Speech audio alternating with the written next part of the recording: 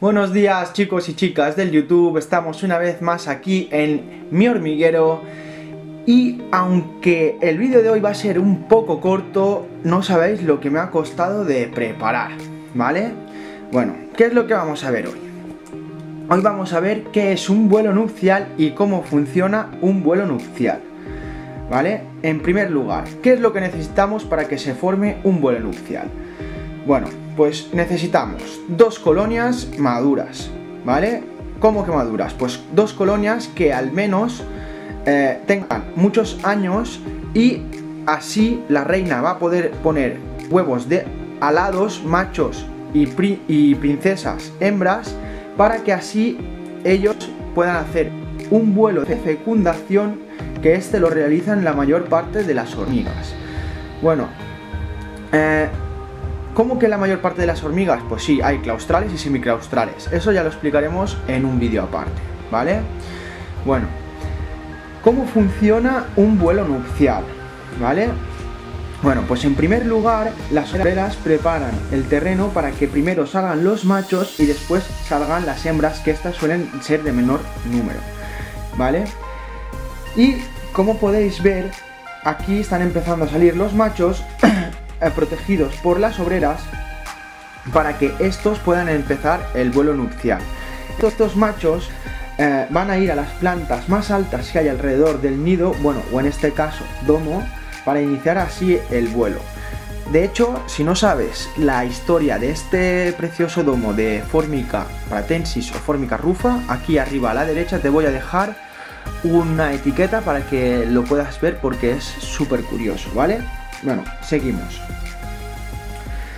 Eh, después de que los machos vayan a volar cientos de metros hasta encontrar un sitio adecuado, empiezan a juntarse machos de distintos hormigueros y así empezarán a soltar un rastro de feromonas para que las em, princesas encuentren dónde están las... dónde están los machos, perdonad. Las princesas reinas no fecundadas, estas pueden aparearse una o varias veces con el mismo o distintos machos y una vez el macho o príncipe cumpla su cometido, este morirá. La reina se quitará sus alas y así se formará una nueva colonia. ¿Vale? Hasta aquí todo correcto. Vale. Pues ahora vamos a ver cómo diferenciar un macho de una hembra. ¿Vale? Si os fijáis, los machos suelen tener la cabeza más triangular, el mesosoma más pequeño, el mesosoma es la espalda, y el gaster o culete, culete, perdona, eh, suele ser más alargado y el de las hembras suele ser más redondeado.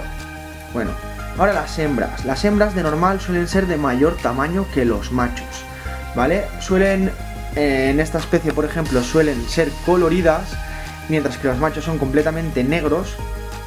Las reinas suelen tener la cabeza más redondeada y más grande, el mesosoma más grande y además coloreado y el gaster igual.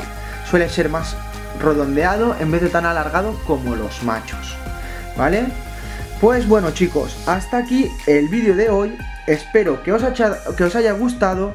Dadle a like y no olvidéis suscribiros. Y si no estáis suscritos y queréis saber cuándo voy a sacar un vídeo, dadle a la campanita que así os avisará siempre de los próximos vídeos que vaya sacando. Así que un fuerte abrazo familia, un beso y hasta el siguiente episodio chicos. ¡Hasta luego!